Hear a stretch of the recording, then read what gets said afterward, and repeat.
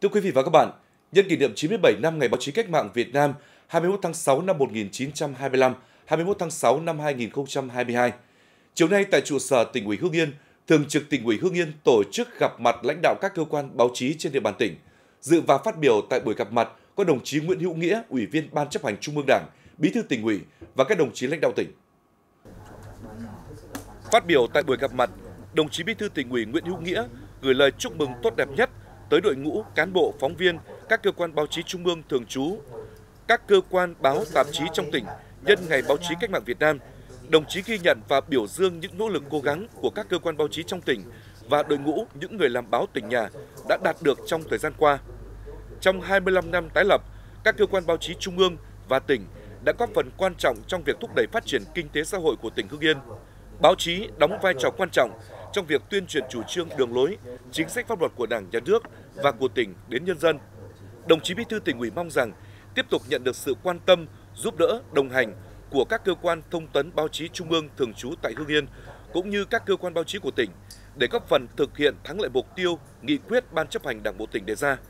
Đồng thời đề nghị các cơ quan thông tấn báo chí, các nhà báo, phóng viên tiếp tục quan tâm, tập trung thông tin, tuyên truyền những nỗ lực quyết tâm của cả hệ thống chính trị, nỗ lực của doanh nghiệp và nhân dân trong các hoạt động sản xuất kinh doanh, phát triển kinh tế xã hội, xây dựng nông thôn mới nâng cao kiểu mẫu, góp phần đưa tỉnh Hưng Yên ngày càng phát triển.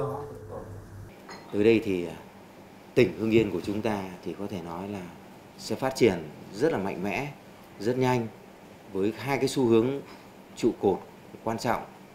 đấy là đô thị hóa và công nghiệp hóa nó tạo ra vô cùng những vấn đề. Nó không phải vấn đề về tư duy hay là nhận thức đâu. Nó đặt ra những vấn đề về về phát triển. Chúng ta nhìn vấn đề trong ngắn hạn ấy, thì một chính sách một chủ trương không bao giờ hài hòa hóa đạt được đồng thời được các mục tiêu. Đấy, anh có thể đạt được ngay cái mục tiêu về tăng trưởng kinh tế nhanh nhưng chưa chắc đã đạt được những mục tiêu về phát triển một xã hội hài hòa hay là vấn đề về bảo vệ môi trường ở đây đấy mặc dù trong dài hạn chúng ta hướng tới một cái mục tiêu phát triển bền vững trên ba trụ cột là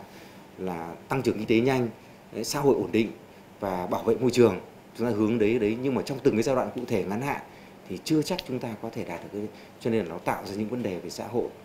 tạo ra những cái luồng ý kiến và những cái quan điểm khác nhau về những cái chủ trương kể cả những quan điểm mang tính chất bất đồng về những chủ trương chính sách đấy khi mà lợi ích của một bộ phận người dân chưa được đáp ứng một cách đầy đủ so với cả cái kỳ vọng và cái mong muốn của người ta đấy, cái đấy là cái lo ngại nhất đối với cả một tỉnh mà đang phát triển bứt phá thì cũng rất là mong phóng viên báo chí trên địa bàn tỉnh Hưng Yên của chúng ta nắm chắc các chủ trương, rồi nắm chắc cái tình hình của địa phương để chúng ta có những cái phương thức hỗ trợ cho các cấp ủy, chính quyền địa phương trong thực hiện các cái mục tiêu về phát triển kinh tế xã hội.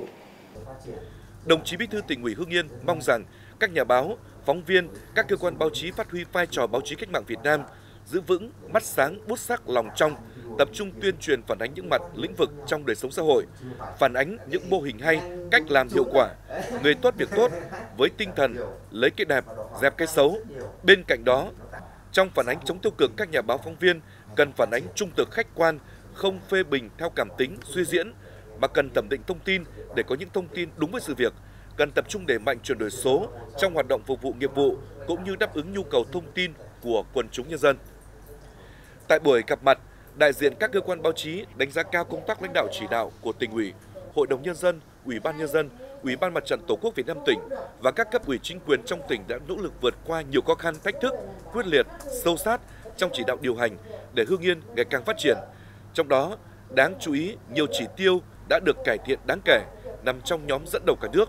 Đồng thời tin tưởng rằng với sự lãnh đạo chỉ đạo của tỉnh ủy, Hội đồng nhân dân, Ủy ban nhân dân, Ủy ban mặt trận Tổ quốc Việt Nam tỉnh và các cấp ủy chính quyền trong tỉnh, sự đồng thuận của nhân dân, tỉnh Hưng Yên sẽ tiếp tục có những bước phát triển mới, mạnh mẽ, vững chắc và đổi mới hơn nữa. Đồng chí Bí thư tỉnh ủy Nguyễn Hữu Nghĩa trân trọng cảm ơn những ý kiến phát biểu chân tình của các cơ quan báo chí đóng góp vào sự phát triển của tỉnh và nhấn mạnh những kết quả đạt được của tỉnh trong những năm qua mới chỉ là bước đầu nhưng rất quan trọng để tỉnh ủy, Hội đồng nhân dân, Ủy ban nhân dân tỉnh tiếp tục lãnh đạo chỉ đạo đưa tỉnh Hưng Yên ngày càng phát triển phồn vinh, toàn diện và bền vững.